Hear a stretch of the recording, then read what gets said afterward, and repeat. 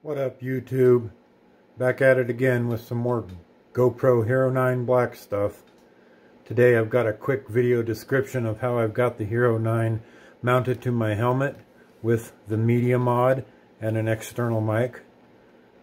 Excuse how dirty my helmet is. It's uh, It actually gets used every now and then.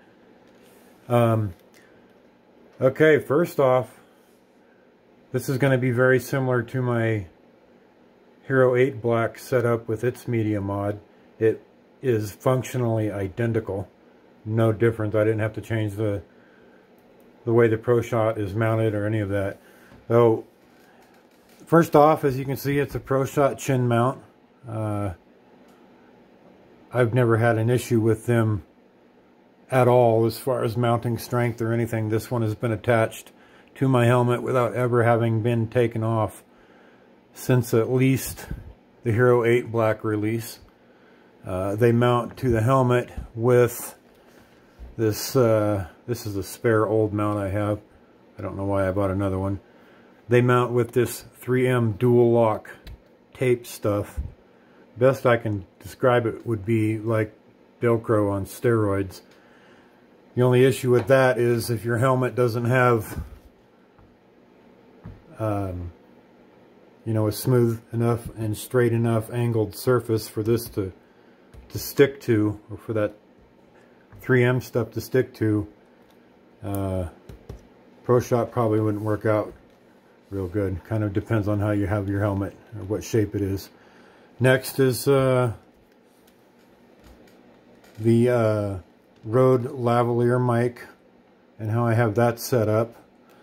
Um, the mic itself is underneath this windscreen.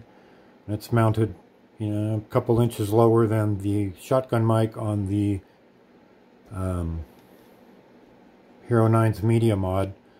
Uh, I had it dismounted on the inside, but ended up breathing on it so much that it was very distracting.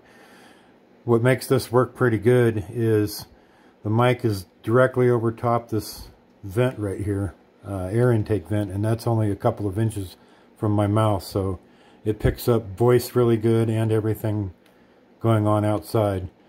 Uh, it's just the cable is just wrapped up and tied with zip ties and attached to my helmet with some Gorilla Tape and then it just plugs into the media mod right there. Uh, so far I haven't had any issues with it. The GoPro Hero 9 is a little bit bigger than the Hero 8. I know everybody knows that, but it's definitely something to consider if weight or size is an issue for you. Um,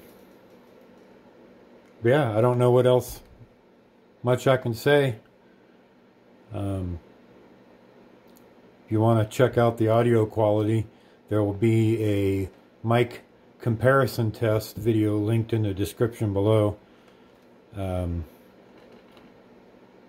I just shot some clips of the front and rear facing mics on the shotgun, or the shotgun mics on the Hero 9 Black Media Mod.